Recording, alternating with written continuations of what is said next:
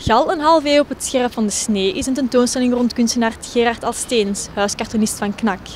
Gal tekent nu al 50 jaar en dat wordt gevierd.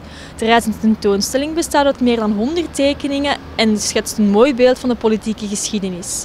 Wij spraken met Gal in het Vlaams parlement op de laatste expositiedag. Heel veel cartoonisten, en ik noem mijzelf daardoor geen cartoonist, uh, dat is, die willen alleen een grap maken. Uh, Willis Nilles, iets om te lachen. Uh, bij mij is dat niet zo. Ik ben ook, en dat heeft toch wel daar ook mee te maken, opgeleid als schilder en graficus. En ik wil een idee gewoon voor 90 ten 100, laat staan bijna 100 ten 100, in beelden uiten.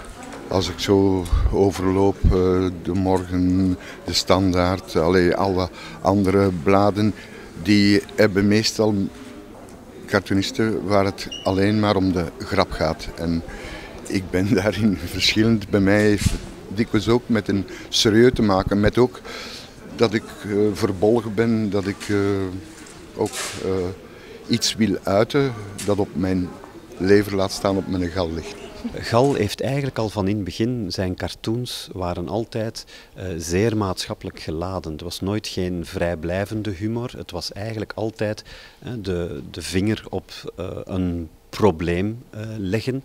Um, en in die tijd, laat ons zeggen, en dan spreek ik van de jaren 70, de jaren 80, waren er nog niet zoveel partijen die dat deden. Of toch zeker niet zo openlijk.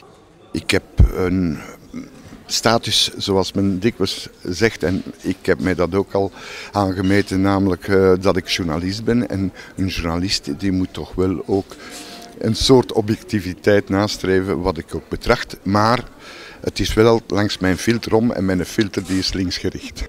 In het Vlaams parlement zit de tentoonstelling erop. Maar Gal, een halve eeuw op het scherp van de snee, reist in 2011 door het land. De tentoonstelling houdt volgend jaar halt in onder andere Antwerpen, Gent en Leuven.